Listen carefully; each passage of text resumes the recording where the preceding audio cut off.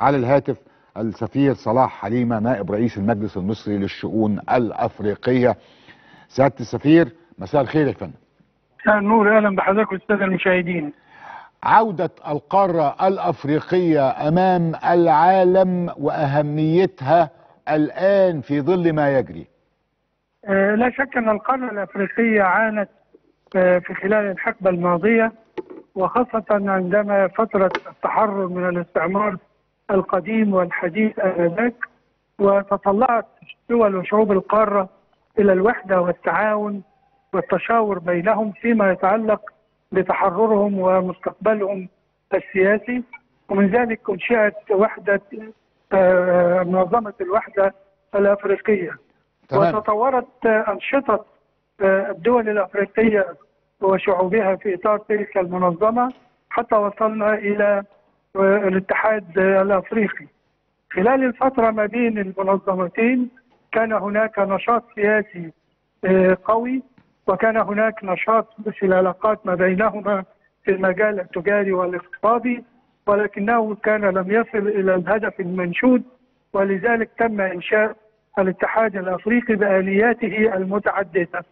آه، الاتحاد الأفريقي الهدف الاستراتيجي في الوقت الحاضر هو التنمية المستدامة في ظل مناخ آمن ومستقر ومواجهة التحديات التي تواجه القارة على أمل أن يصبح تصبح القارة.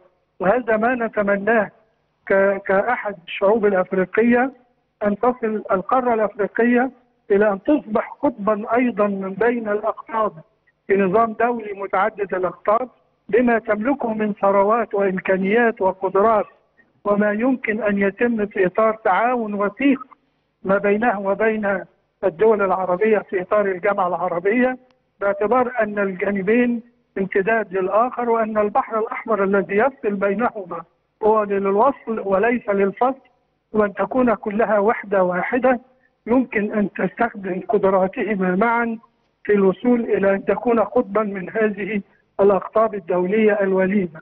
لا شك أن هناك تحديات كثيرة في موضوع التنمية المستدامة. لعل تواجه القارة بالطبع وهي على سبيل المثال ليس الحصر عندنا هناك مكافحة الإرهاب. عندنا أيضا آه، الأوضاع السياسية والصراعات السياسية وبين بعض الدول والشعوب والقضايا السياسيه أيضا عندنا آه، التطور الاقتصادي والعلاقات الاقتصادية. وضرورة أن تكون هناك استثمارات في البنية التحتية في القطاعات الإنتاجية المختلفة. لإنشاء منطقة التجاره الحرة القارية حتى يمكن أن يزداد التعاون والتنامي بين دول القارة وشعوبها بينهما وبين البعض وبينهم وبين العالم الخارجي. هناك أيضا التحديات الخاصة بالاجتماعية في مجال الصحة والتعليم.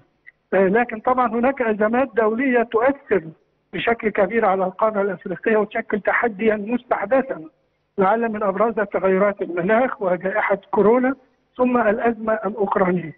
لا شك أن هناك دورا مصريا محوريا في مواجهة كل هذه التحديات وأيضا دعما لتطلعات الشعوب الأفريقية ودولها نحو التنمية المستدامة والارتقاء بالقارة الأفريقية لأن تصبح كتلة اقتصادية قوية يمكن أن تكون قطبا من الأقطاب الدولية التي هي الوليده التي يمكن آه، أن تكون لديها من الاستقلال ولديها من الحرية في ولن وان تكون ولا تكون مجرد منطقة للصراع والتنافس بين القوى الدولية من أجل الاستغلال لصالحها وليس لصالح شعوب ودول هذه القارة بصفة خاصة.